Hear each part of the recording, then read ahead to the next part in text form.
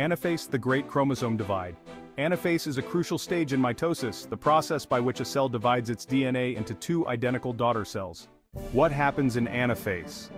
The key event in anaphase is the separation of sister chromatids. These are identical copies of a chromosome that are joined together at a region called the centromere. The spindle fibers which are made of microtubules shorten and pull the sister chromatids apart towards opposite poles of the cell. Once separated, each sister chromatid is now considered a full-fledged chromosome. Why is anaphase important? Ensuring that each daughter cell receives a complete and identical set of chromosomes is vital for the proper functioning of the new cells. Anaphase is the stage where this distribution is initiated. Would you like to learn about the other phases of mitosis or delve deeper into the mechanics of chromosome movement during anaphase?